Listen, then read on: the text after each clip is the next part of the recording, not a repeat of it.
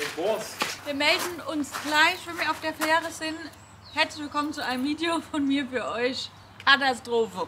Katastrophe. Abbruch. Ihr müsst los, sonst verpasst ihr wieder die Fähre. Achso, ja. Äh, der Hund. Haben wir alles? Ihr habt noch einen zweiten Hund gehabt. Achso, ja. Wow. Sagt schön. Tschüss. Her.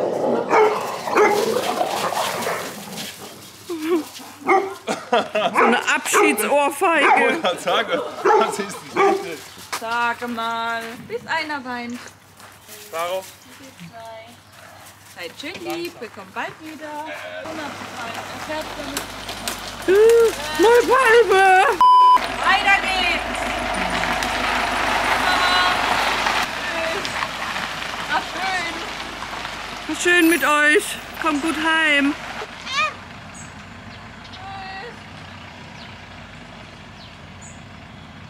Mal gucken, ob wir hier richtig sind. Wir sind jetzt ja, so eine Stunde sind wir jetzt an die Fähre gefahren, also ganz gemütlich. Auf der Fähre sind wir dann nochmal sechs Stunden. Diesmal am Tag, das letzte Mal auf dem Herweg waren wir nachts auf der Fähre, da haben wir einfach geschlafen. Die Fähre fährt weg. Was? Guck, die fährt da. Nein, wie? Wohin? Quatsch, das ist für LKWs. Also hätte mich jetzt nicht gewundert. Beim Herweg haben wir ja die Fähre verpasst, wegen einer Minute. Jetzt auf dem Rückweg sind wir am Tag auf der Fähre, da müssen wir uns die Zeit vertreiben. Aber es gibt ein Restaurant dort, also jetzt müssen wir sie erstmal kriegen. Ja. Und nicht verpassen wäre gut. Jetzt ist los. Einchecken. Caro, wir sind da. Auf der Fähre. Te- no, new ticket. ¿Hablan español un poquito? Eh, the ticket is no, not okay. It's necessary the office Balearia. The, the, Scheiße, ich hab nur verstanden, it's not- is not here, okay. Ja. Okay? Not okay, ist nicht okay. Not- not okay. No, it's okay. No, it's Okay. the problem. Okay? Okay, hier und äh, check Yeah, inside. one, yeah. Also ich habe jetzt nur verstanden, ist not okay und it's a problem. Oh, Keine Ahnung. Das fängt schon wieder gut an. Dieses Ticket geht nicht. Scheiße. So, ich gehe mal schnell da rein und check das, ja? Pass auf die Hunde auf. Haut nicht ab, lasst mich nicht zurück, danke. Das gibt's doch nicht. Das gibt's doch einfach nicht. Wir sind noch nicht mal von der Insel runter und es fängt schon wieder beschissen an. Jetzt stimmt was mit unserem Ticket nicht. Ich brauche eine Delfintherapie. Sobald wir auf der Fähre sind, also sollten wir auf die Fähre dürfen, werden wir euch erzählen, was passiert ist. Das letzte Video, da war ja noch alles toll und wir haben uns gefreut, dass wir äh, ein Haus gekauft haben, eine Finca gekauft haben und dass äh, Schlüsselübergabe ist. Und eigentlich sollte dieses Video die Roomtour sein. Dazu dann gleich in Ruhe mehr. Das werdet ihr nicht glauben. Wo sind denn die hin? Scheiße, gell? Der ist einfach abgehauen. Wie die auf Steffen warten. Süß. Eine halbe Stunde später. Der Steffen ist noch nicht zurück. Das sind richtige Camperhunde. Ich aber viel zu süß. Mein die Butti Butti Bub. Mutti Butti Bub. Der ist schon ganz schön lang weg. So, Und was war das Problem? ah, alles gut, alles im grünen Bereich. Aber wir dürfen nicht zusammen einsteigen. Was? Ich muss mit dem Auto reinfahren, da darf nur eine Person reinfahren und du musst äh, jetzt mit dem Ticket Nein, du verarschst hier mich. reinlaufen. Doch, Warum? weil es hier so ist, Schatz. Wir müssen es beeilen, die fahren auch schon Wo, rein. also, wo soll Also- ich jetzt alleine irgendwo wohin? Ja, ich sag dir's gleich. Oh Komm. mein Gott. Ich muss irgendwo alleine hin mein Akku ist leer. Ich werde mich sowas von verlaufen. Ich weiß ja, wo ich hin muss. Das war beim letzten Mal Zwei nicht Sachen ich so. So, pass auf, da ist eine Glastür, da vorne eine einzige Glastür. Und da geht innen drin eine Rolltreppe hoch. Und dann musst du hier rüber laufen. Eine Rolltreppe hoch und dann hier rüber. Das ist ein ganz offenes Gebäude. Da ist nur eine Rolltreppe drin. Lauf mal da rein, da ist ich eine da Tür. rein und Da rein, genau. da Einfach die da. Treppen jetzt hoch? Oder wie komme ich da rein? Schatz, in das Gebäude Ich rein, wo es Glas ist. Da ist eine Ja, wie Glastür. komme ich hier? Das ist doch abgesperrt. Nein, da ist eine Tür da hinten. Da läufst du in die Glastür rein, die Treppen hoch und hier gegenüber. Oh mein Gott. Okay? Und dann? Und dann läufst du ins Schiff rein. Hier, folgt den Leuten, okay? Komm, Schatz. Oh mein Gott, ich habe nichts gecheckt. Kann es eigentlich noch schlimmer kommen? Nee, das sage ich nicht mehr. Es kommt nämlich dann immer schlimmer. Fort. Er hat mich doch verarscht, er hat mich doch ausgesetzt. Stellt euch bitte vor, ich verpasse die Fähre jetzt und er fährt alleine. Ich habe mich verlaufen. Ich glaube das nicht. Ich weiß nicht, wo ich bin. Ich habe keinen Akku mehr. Ich glaube, ich verpasse die Fähre. Ich werde niemals irgendwo ankommen. Ich kriege schon wieder Panik. Warum passiert mir sowas immer? Hier ist kein Mensch mehr. So sieht die Fähre aus und da ist der Steffen quasi mit dem Wohnmobil schon reingefahren.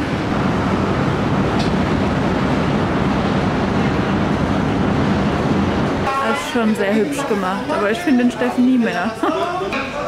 Ich finde den Steffen nimmer. Ich weiß nicht, ob ich auf der richtigen Fähre bin.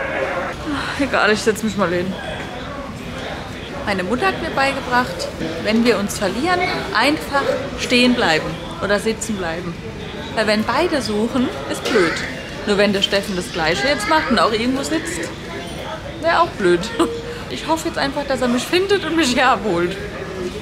Ich bleibe jetzt einfach genau hier sitzen, sechs Stunden lang. Und dann gucken wir mal, in welchem Land ich bin. Ah, ist das ein Jenny-Moment? Ich glaub's nicht. Ne? Ich brauche einen Schnaps. Da ist er! Hast du mich gesucht? Sagt er zu mir, ja, aber ohne Hunde, gell? Ich sag, wie ohne Hunde? Ich bin auch mit Hier Hunden. ist dann so ein Restaurant. Da können wir dann richtig schön essen. Also Fähre ist schon schön gemacht. Ja.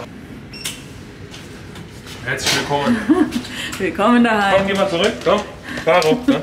Sie Oh, rein. das ist ja groß. Ja, Caro find's gut. Oh, gefällt. Find's Hey, gut. sieh mal, Bu! Schön, gell? Man merkt schon, dass man ein bisschen dem Wasser ist, finde ich so. Ich habe für vier Leute bezahlt. Für Viererkabinen. Nee, aber nee, die haben nur Viererkabinen hier, glaube ich. Fahren schon los gerade, guck mal. Echt? Ja. Man merkt es gar nicht so. Ja, doch, wenn man sich drauf konzentriert, wird Merkt einem schon man's, ne? schlecht.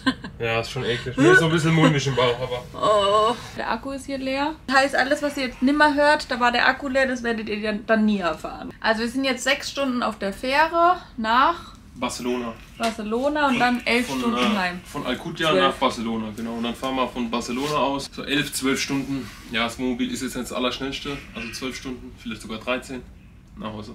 Aber wir machen ja noch einen Zwischenstopp in Frankreich. Also. Ja, und wollen dort ganz, Ravioli essen. Ganz gemütlich. Was? Ravioli? Wir sind extra mit dem Wohnmobil unterwegs, dass wir die Hunde mitnehmen Ja. können. Also wir hätten ja auch fliegen können, aber so ist es ein bisschen abenteuerlich. Macht auch echt Spaß, muss ich sagen. Also bis jetzt ist schon einiges passiert. Es wird nicht langweilig mit dem Wohnmobil. Ich finde es voll gemütlich eigentlich. So, und warum fahren wir jetzt heim und sind nicht am Renovieren in unserer neuen Finca?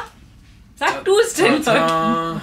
Jenny, ja. Moment. Plan war ja, wir haben jetzt ja drei Wochen Urlaub genommen, haben unser Wohnmobil vollgepackt mit Werkzeug. Der Akku ist aber auch gleich leer. Also das Wohnmobil war, das Wohnmobil, Ach Scheiße, das Wohnmobil war voll mit Werkzeug. Wir sind jetzt nach Mallorca gefahren, weil wir eine Finca gekauft haben. Ja. Kann man so sagen. Also wir haben uns da ein Finca, ein Landhaus auf ähm, Und haben uns tierisch gefreut. ja, die letzten Wochen, Monate oder ja, Monate waren es schon bald, äh, haben uns tierisch gefreut. Wir wollten jetzt nach äh, Mallorca uns die drei Wochen nehmen, alles renovieren, alles umbauen, alles so machen, wie wir das wollen. Auch für den Notartermin quasi. Also das war alles schon so angepeilt. Als ich das letzte Video gemacht habe, habe ich äh, gesagt, dass wir einen Notartermin haben. Das war, glaube ich, am nächsten Tag geplant.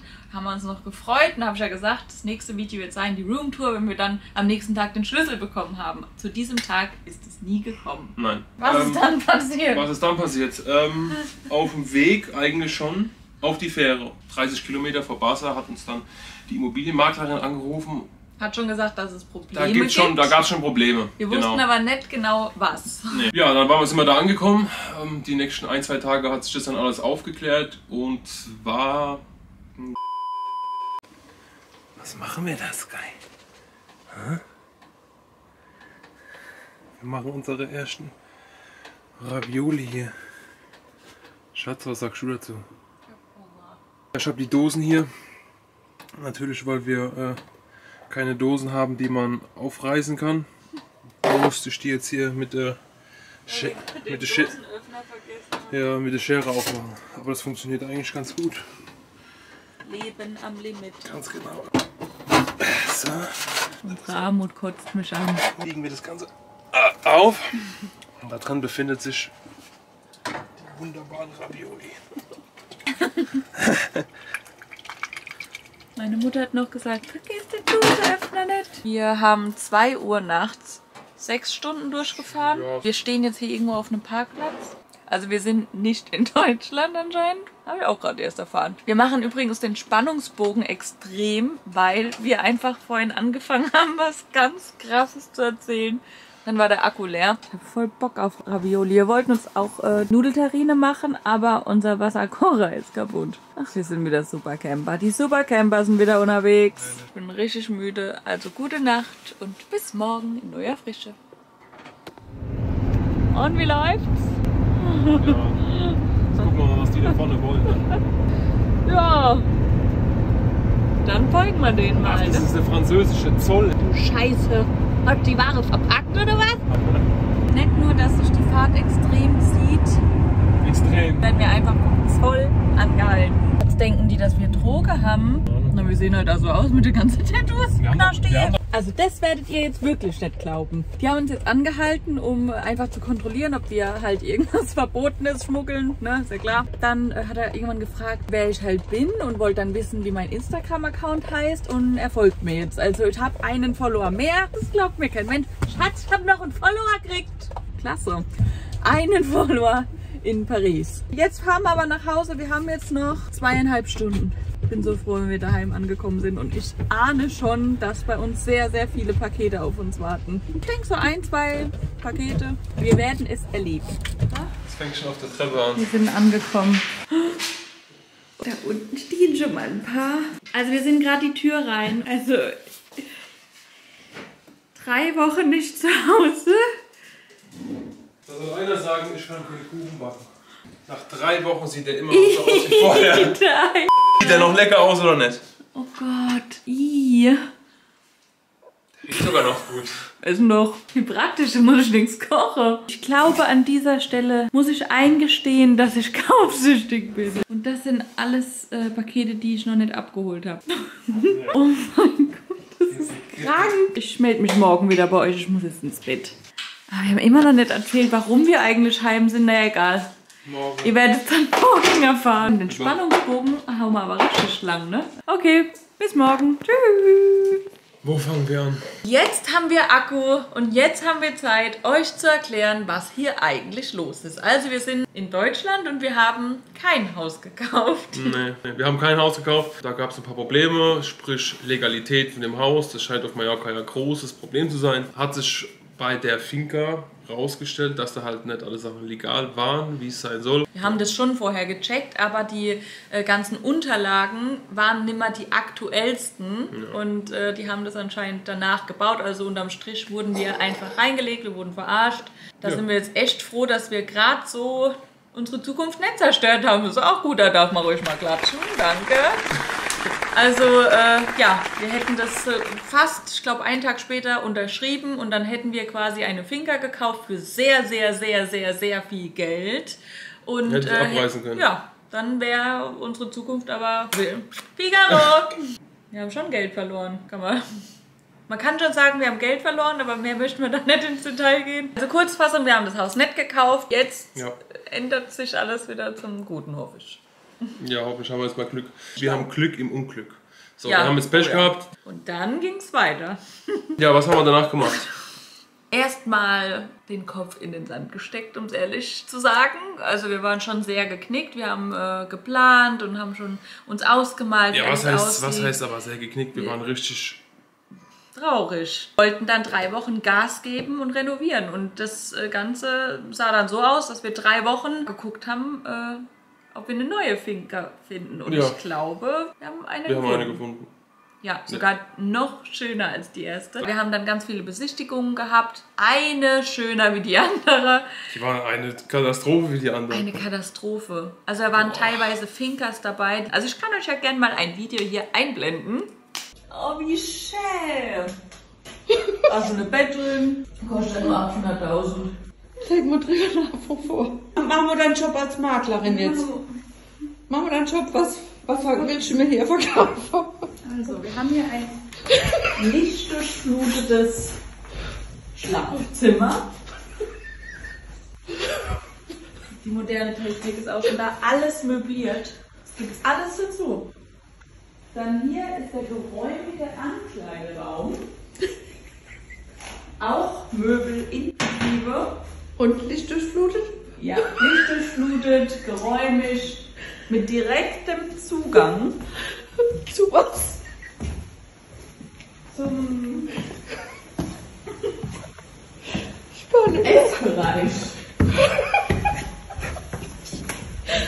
Haustiere erlaubt. Hoffentlich im Wohnzimmer. Und ansonsten gibt es die Elektronik auch direkt dazu. Also Welche Elektronik? na, die Lampe. Das ist auch die Licht. Aber es sind auch sehr viele Interessenten da. Also wenn Sie das jetzt wollen, direkt bezugsbereit, das mal heute noch unterschreiben für 800.000. Was haben wir denn hier jetzt? Hier? rustikale Wellness-Ecke für jedermann. Ein paar der alten Bewohner sind da noch drin, wurden nie gefunden. Herzlich Okay. willkommen in Ihrer Wohlfühlatmosphäre, die Küche. Alle Geräte inklusive. Auch wieder möbliert. Alles, alles im Preis. Selbst die Leiter im Preis enthalten. Das Gästehaus mit direktem Poolzugang. Ja, es ist wirklich äh, wie im Dschungelcamp. Ich fühle mich eigentlich wohl. Also eins kann ich sagen, diese Finca ist es leider nicht geworden. Da war einer schneller als wir. Schade. Oh, dann haben sie einfach oben drauf weitergebaut, dann irgendwann halt. Ne? Cool. Wahnsinn. Und das für nur 700.000 Euro. Das nehmen wir. Das kann Zaun, können die Hunde perfekt auf die Autobahn. Also ich war ja dafür, das zu kaufen, er wollte es aber nicht. Ja, also wir haben uns 10, 15 Stück angeguckt, würde ich mal sagen. Viele, Die viele. Und es war aller- arschkalt.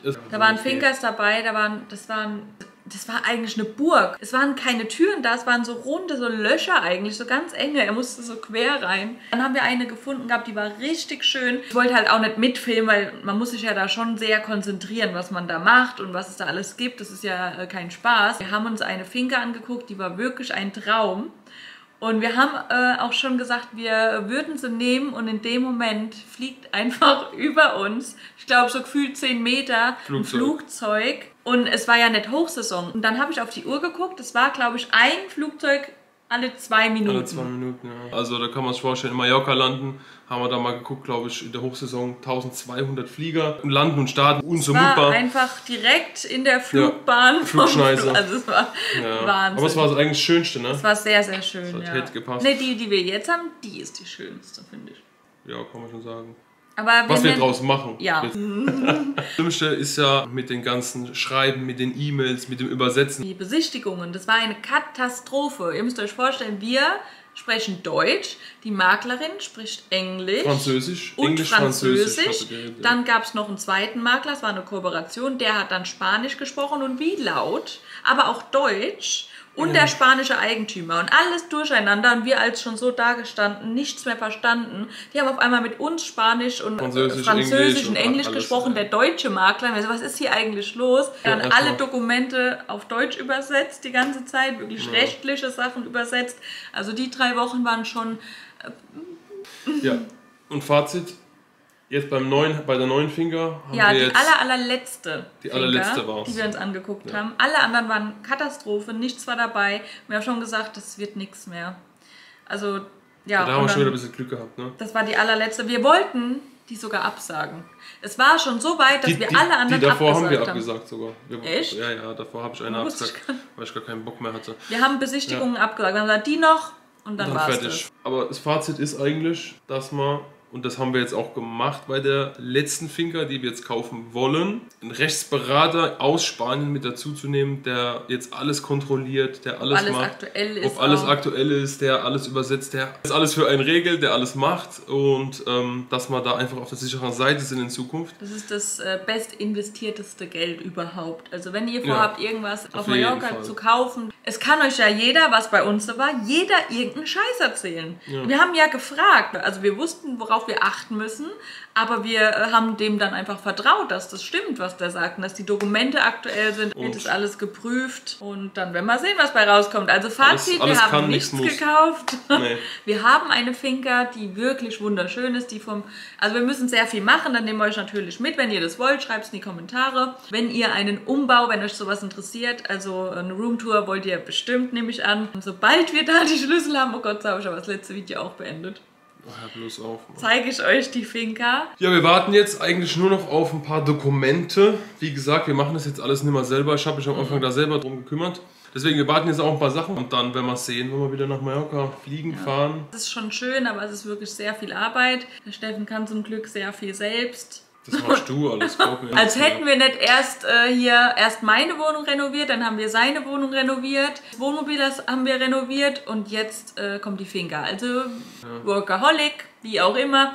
Aber ich muss auch sagen, uns macht es Spaß. Also aus was Altem was Neues zu machen, ist schon geil. Vor allem, weil er so viel kann. Yeah, auf mich jetzt so hoch zu loben. Du guckst, sagst, oh, sieht schön aus. Ich freue mich Ja, dann. du freust dich dann, ja klar. Happy Wife, Happy Life, okay? hast du, hast du toll gemacht, Schatz. Wow. Dekorieren kann ich sehr Deko gut. dekorieren kannst du. Ja, auf jeden Fall. Siehst du, ohne mich wird das hier gar nicht laufen. es ist ja wie in der Steinzeit. Der Mann baut die Höhle und die Frau geht dann rein und macht's wohnlich. Ja, du tust du Pilzgerben. Was? Vergiss Nee, es. Pelz tragen wir nicht.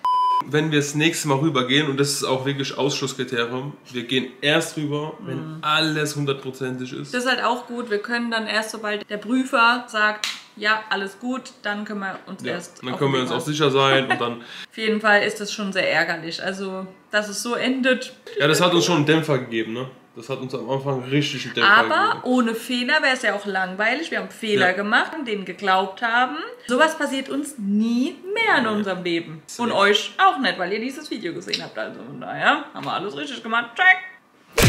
Wir hoffen, euch hat es ja gut, hat euch das Video gefallen. Ja, scheiß Informationen, ne? Aber Ja, hat euch das Video.